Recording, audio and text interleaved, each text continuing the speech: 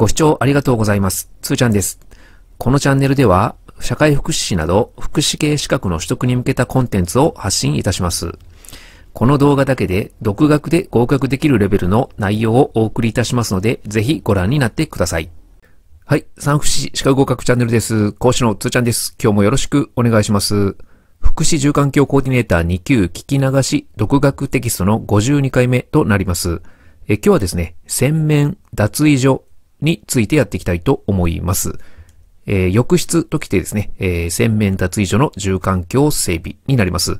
結構ですね、洗面脱衣所も、あのー住環境整備やることが多いですよね。えーですから必見ですのでね、えー何度も見て聞いて覚えてください。それでは行きましょう。住環境整備の方法編、洗面脱衣所です。1番、洗面脱衣所の広さは対象者が何をできる広さを確保する必要があるとされているでしょうかはい、座って洗面やだ、えー着脱衣ができる広さですね。では、介助者のスペースも考えると、間口、奥行きはどれだけ必要でしょうかはい。間口、奥行きともに1650ミリ程度、まあ、165センチ ×165 センチぐらいは必要とされております。2番です。車椅子を使用する場合は、間口、奥行きはどれだけ必要でしょうか？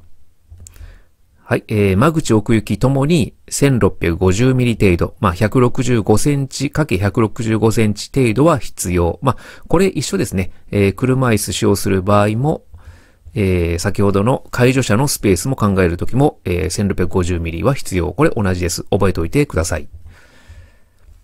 はい。では、えー蒸気のスペースを基本として車椅子が何をできるような配慮が必要でしょうか？はい。方向転換できるような配慮ですね。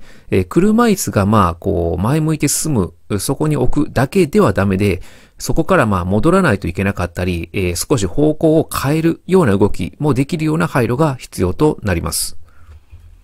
3番です。車椅子利用の方に関してどんなスペースも考慮すると良いでしょうか ?3 つ答えましょう。はい、1つが入浴中に車椅子を置くスペースですね。で、2つ目が車椅子からベンチや異常台に移乗するのに必要なスペースですね。で、三つ目が、介助者が必要な場合は、介助者のためのスペース。え、この三つがですね、最低限、まあ、あの、スペースが必要とされているものです。覚えておいてください。4番です。洗面脱衣所のスペースが限られている場合、寝室から浴室への移動方法に配慮した上で、何を検討する必要もあるでしょうかはい。寝室での着脱衣ですね。えー、洗面脱衣所のスペースがまあ狭い場合には、えーそこでこう、まああの、着脱衣がこうちょっとしにくい場合は、えー寝室が広いとですね、えー寝室で着脱衣をするということも考えることが必要となります。では、蒸気のことについて移動の他に何に配慮する必要があるでしょうか？はい、それは温度の変化ですね。まあ暖房の配慮ということになります。まああの、寝室があったかくてですね、で、こう移動する上で、えー洗面脱衣所がこう寒い、温度がまあ、えー低いとですね、えー体に悪いんですのでね、えー暖房を使うであったりとした、こう、温度の変化に配慮することが必要となります。5番です。洗面脱衣所の床について、床下地には何を使用し、どんな床仕上げにすると良いでしょうか？はい。耐水合板ですね。えー、まあ、水に強い合板を使用し、濡れても滑りにくい仕上げ。まあ、当然といえば当然なんですが、えー濡れても滑りにくいものを使用します。では、一般的には床仕上げ剤として用いられるものは何をさ使用されているでしょうかはい。フローリング剤ですね。えー洗面脱衣室用のフローリング剤や P タイル、シート状の塩化ビニール系の床、リノリウム床というものが使われております。6番です。洗面カウンターについて、洗面カウンターは車椅子使用者が体を支えたり、肩麻痺者などが寄りかかることで、どんな動作がしやすくなるなどの利点があるでしょうかはい。片手で動作しやすくなるといった利点があります。では、洗面カウンターはどんなことに配慮して取り付けるでしょうか？はい。体重をかけても安全なように取り付けることになります。7番です。洗面カウンターについての続き。洗面カウンター下の排水管はどのような配慮が必要でしょうか？はい、えー、床排水では左右の隅の壁面に寄せたりして、車椅子のフットサポートや膝が当たらないようにする配慮が必要ですね。これはこう、試験にかなり出る、出ますのでね、覚えておいてください。えー、車椅子のフットサポートや膝が当たらないようにする配慮ですね。8番です。洗面カウンターについての続き。車椅子使用者の洗面カウンターは取り付け高さを床面からどれだけ程度にすると良いでしょうか？はい、床面から720から760ミリ程度、まあ、72センチから76センチ程度ということになります。では、鏡については、椅子に座った状態でも立位姿勢であっても、胸から上が映るようにどのようなものを設置すると良いでしょうかはい、床面より800から1750ミリ程度の範囲をカバーできるもの、結構大きなものを、えー、設置すると良いということになります。これも覚えておいてください。9番です。洗面カウンターについての続き。鏡の材質はどんなものを使用すると良いでしょうかはい。湿気に強いボーロ型のものですね。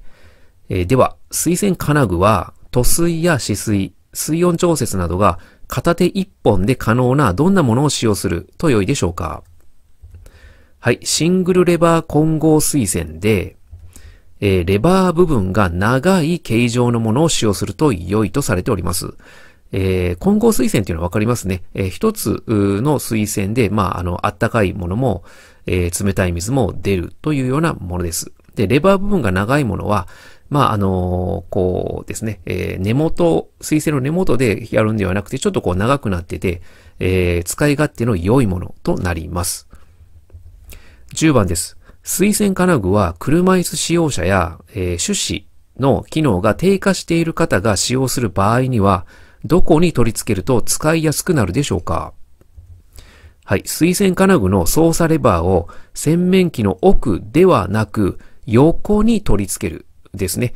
えー、洗面器の奥にあるとですね、えー、こう、まあ、手が不自由な方や手指の機能が低下している方は結構使いにくいんですよね。えー、長く腕を伸ばさなくてはいけなかったり、まあ、あの、手指をですね、え細かい動きがしにくい場合は奥では使いにくいんで、えー、横ですね、洗面器の横に取り付けるのが良いとされております。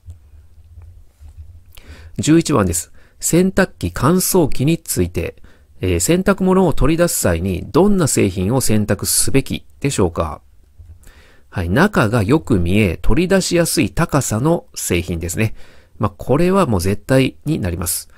では、扉が全面上部についた洗濯物が取り出しやすいどんな洗濯機が便利でしょうかはい、えー、ドラム式全自動洗濯機になります。まあ、最近よく、えー、コマーシャルであったり、まあ、あの、出てますよね。ドラム式の全自動の洗濯機が、まあ、あの、高齢者や障害者の方は使いやすいことになりますね。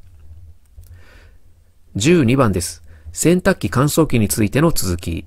立位で操作がしやすい従来の、まあ、縦型ですね。縦型の洗濯機を車椅子で使用する場合は洗濯機置き場をどうすると良いでしょうかえー、ちょっとですね、えー、右にまた私の、えー、手書きの絵で表してますが、さてどうするでしょうかはい、えー、床面を低くして使用者が洗濯物を取り出しやすいようにするのが良いとされております。まあ、あの、下、あ、下、ごめんなさい。右の図にもあるようにですね、えー、洗濯機を置く場所を、こう、床面レベルより、こう、少し下げるんですね。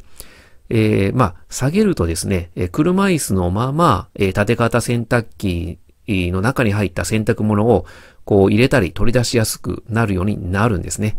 えこういった、まあ、図のようなですね、えー、改造というか、えー、そういったことも必要となります。え13番です。収納について、洗面脱衣室では収納物が多くなります。普段使わないものはどこへ収納するのが良いとされているでしょうかはい。釣り戸棚など高い場所へ収納する。する。まあ、あまりですね、普段こう、しょっちゅう使わないものは、まあ、あの、釣り戸棚といったこう、高い場所へ収納するのが良い。まあ、当然ですよね。では、照明や色彩について、洗面台などに補助照明を設ける場合は、光源が正面にあると眩しく感じられるため、どこに設置すると良いでしょうかはい、鏡の上か左右の壁などに設置すると良いとされております。あくまでこれは補助照明の話です。14番、えー、照明色彩についての続き。JIS が定める推奨照度は、浴室、洗面脱衣室の全体は何ルクスでしょうか？はい、100ルクスになります。では、えー、化粧、洗面、髭剃りをする部分や場所は何ルクスでしょうか？はい、300ルクスになります。これも覚えておいてください。えー、浴室や洗面や脱衣室の全体は100ルクスで、えー、化粧であったり洗面であったり髭剃りをする、そういった部分ですね、場所は300ルクスです。覚えておいてください。えー、15番です。換気設備について。浴室と隣接している場合でも換気設備はどうするようにするのが良いでしょうかはい。兼用せずに独立した換気設備を設けることですね。え、16番です。暖房設備について。濡れた体に直接風が当たると水分の蒸発により体が冷えてしまうので暖房設備はどのようなものを使用するようにすると良いでしょうかはい。温風を吹き出す対流暖房ではなく、輻射暖房を使用するようにするのが良いとされております。では、輻射暖房の例としては何があるでしょうかはい、えー、パネルヒーターですね。パネルヒーターなど、副車暖房のものが良いとされております。はい、今回ですね、住環境整備の方法編の中の洗面脱衣所を取り上げております。えー、洗面脱衣所もですね、えー、かなりボリュームが多いですよね。えー、まあ、段差、あそうですね、えー、洗面、えー、洗濯機と、こう、床の段差であったり、照度であったりですね、えー、まあ、あの、間口と奥行きの、こう、スペースの問題であったりですね、結構いろいろとありますのでね、えー、問題にも出やすいところとなります。一問一答形式でギュギュッと16問にまとめておりますのでね、この16問はすべて覚えるぐらいで、えー、頑張って覚えてください。えー、何度もですね、繰り返し動画を見て聞いて覚えて、えー、聞き流しやながら聞きで結構ですのでね、記憶に焼き付けてください。はい、えー、福祉用環境コーディネーター2級の動画まだまだ出していきますので、よろしくお願いします。以上です。